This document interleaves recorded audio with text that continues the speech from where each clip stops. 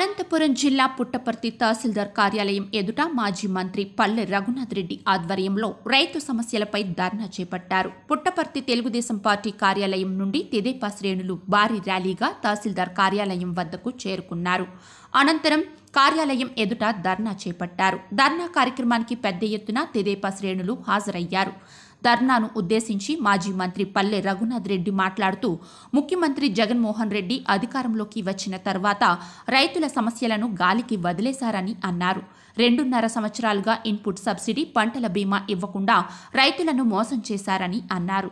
పెండింగ్లో ఉన్న పన్నెండు వందల కోట్ల రూపాయల పంటల బీమా పంటల నష్టపరిహార నిధులను తక్షణమే విడుదల చేసి రైతులను ఆదుకోవాలని అన్నారు. అదేవిధంగా వ్యవసాయ మోటార్లకు మీటర్లు బిగించేందుకు ఆ పని విరమించుకోవాలని అన్నారు. అదేవిధంగా సూక్ష్మ బిందు సేద్యంలో భాగంగా డ్రిప్ స్ప్రింక్లర్ పరికరాలను రైతులకు అందించాలని డిమాండ్ చేశారు.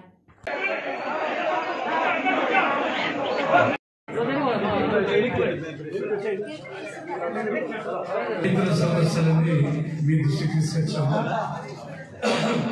చాలా ఇబ్బందులు ఉన్నాయి. మీరు కూడా గవర్నమెంట్కి పంపాలని ఈ విజ్ఞప్తి ఇస్తున్నాము. మీరు తొందరగా ప్రభుత్వం పంపించి సమస్య పరిష్కారం కృషి చేయని రైతు సమస్యలన్నీ కలెక్టర్ గారి ద్వారా ప్రభుత్వం దృష్టికి తీసుకుపోయి సాయశక్తుగా ఇవన్నీ కూడా సక్రమంగా జరిగేటట్లు తర్వాత ఇవన్నీ కూడా నిజాం అయ్యేటట్లు మా యొక్క సహకారాన్ని అందజేసి కలెక్టర్ గారి దృష్టికి తీసుకుంటున్నాను తాపి మేస్త్రీలు పెయింటర్లు ప్లంబర్లు ఎలక్ట్రీషియన్లు వేల కుటుంబాలు రోడ్డు పడ్డాయి.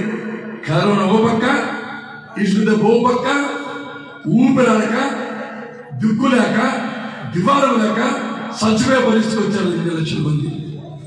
ఇప్పటికీ కళ్ళు కలగల. ఏమి సంపాదించిన ఆస్తి ఏమన్నా? దేవుడిచ్చిన ఆస్తి. దాని మీద పనులు విపరీతంగా మీకు తెలుసు చెత్త పని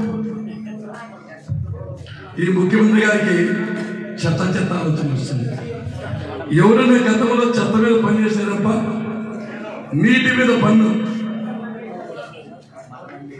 మటన్ అమ్ముతారంట దాని ఎంత రేటు పెంచుతాడో తినేది ఇప్పుడే ఉంటే గొర్రెలు మేకలు ఉంటే ఇప్పుడే పోసుకోండి మళ్ళా దాని మీద పన్ను పడిందంటే తినలేరు. అది యాభై రూపాయలకు పన్నెండు వందలు పెంచేస్తాడు మటన్ మార్కెట్. ఏ సినిమా టికెట్ అమ్ముతాడంట ఏం ఆలోచన? ప్రభుత్వానికి ఆలోచన ఆలోచనలా? అంటే దీనంతా తాకట్టు పెట్టి ఢిల్లీలో అప్పులు తీసుకురావాలి నాకు సిగ్గైపోయింది ఆంధ్ర భవన్ పోతే. భయపడతారు మమ్మల్ని చూసి. ఎలా అప్పులకు వచ్చారు? అప్లోడ్ చూస్తే ఆ సుందరికి వెళ్ళిపోతాం కదా. అట్లా ఢిల్లీలో మన ముఖ్యమంత్రి గారు పోతే కేంద్ర మంత్రి గారు పోరు. ప్రధానమంత్రి అసకేంద్ర వ్యూడు మన ఆత్మ గౌరవాన్ని ఢిల్లీ నిలబెట్టాల్లో సాకట్టు పెట్టేశాడు. జీతాలు ఎవరైనా పరిస్థితి వచ్చారు సంపద సృష్టించాలి. పెట్రోల్ పెరిగింది. ఒక్కటే కోసం మీ అందరికీ. గోవాలో ఎనభై రెండు రూపాయలు పెట్రోల్. ఇది నూరు రూపాయలు. నూట పది ఈ ఇరవై ఐదు రూపాయలు ఎక్కడ పోతున్నాయి? ఆ తక్కువకి ఇచ్చేదేమి ఇక్కడ ఎక్కువ కంపెనీ దేశంలో ఉన్న అన్ని రాష్ట్రాల కంటే కూడా పెట్రోల్ ఛార్జ్ ఎక్కువ డీజిల్ ఛార్జ్ ఎక్కువ గ్యాస్ ఛార్జ్ ఎక్కువ.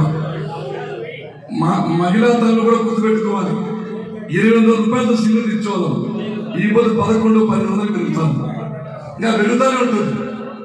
కాయగూరలు పెరుగుతున్నాయి.